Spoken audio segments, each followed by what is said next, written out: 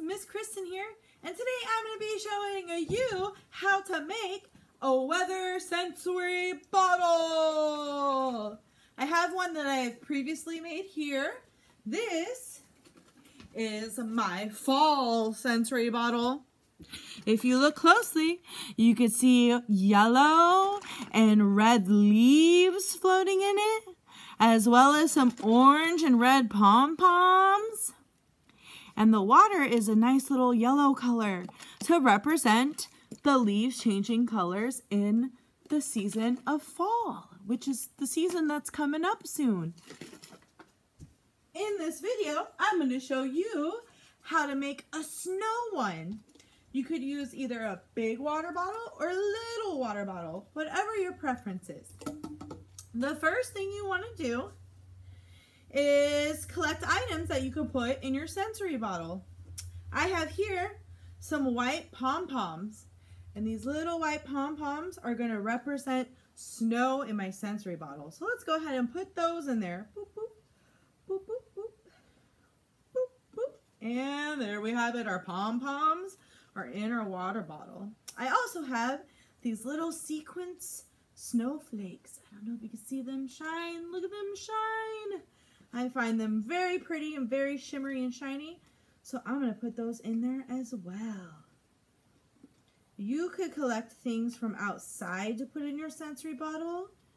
You could find leaves outside to add to your sensory bottle.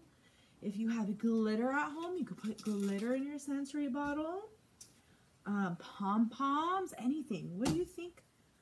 What kind of items can we put in our sensory bottle? What items would float or what items would would sink? Hmm, that is a good question. All right, now that we got our sequins and our white pom-poms in here, I think I'm going to add a little bit of glitter because when I see snow, sometimes the snow is sparkly on the ground if the sun's gleaming on it. So I'm going to add some glitter. And oopsie daisy, my glitter wasn't open and it exploded. All right, let's, I'll be right back. I'm gonna pour some of this in here. Oh, maybe I could do it. Never mind. Just kidding. Perfect. Would you look at that? Just a little bit, not too much.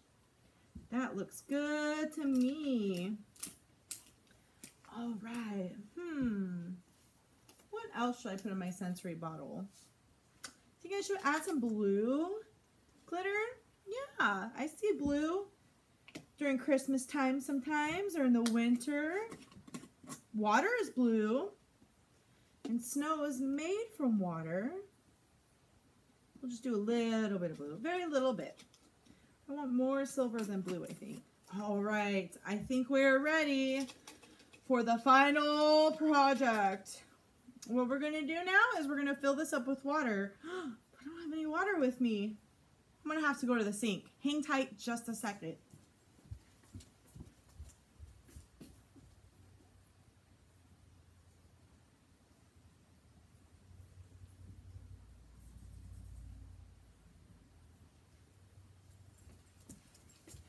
Oh, I got the water. It is almost done. Last but not least, I need to make sure my sensory bottle is closed tightly with a cap before I shake it up. Whoa! Do you see this? Look at it! You could see all the snowflakes and snowballs sparkling around my sensory bottle. Wow! How pretty! And there you have it, boys and girls. This is a snow sensory bottle. You can make yours out of anything else you want. If you maybe you could do a a sunny day sensory bottle. Hmm, I wonder what that would look like. I think you would might need a yellow pom-pom for a sun and maybe some blue glitter to represent a blue sky.